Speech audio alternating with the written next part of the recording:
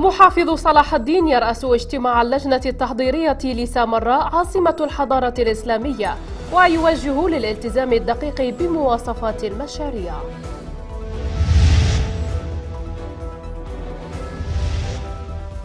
الكاظمي يعلن بداية العام الدراسي من ثانوية العقيدة لرمزيتها التاريخية لتوجيه رسالة رفض الطائفية والعنصرية احتراما لهوية العراقيين الجامعة.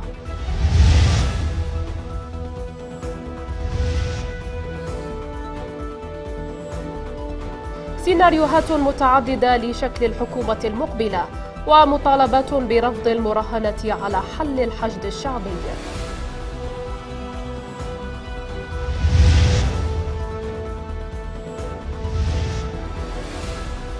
إجراءات أمنية أعادت الانتشار الأمني في المقدادية لمنع عودة الاصطفاف الطائفي والصابئة المندائيون يحتفلون بعيد الازدهار بأجواء خاصة.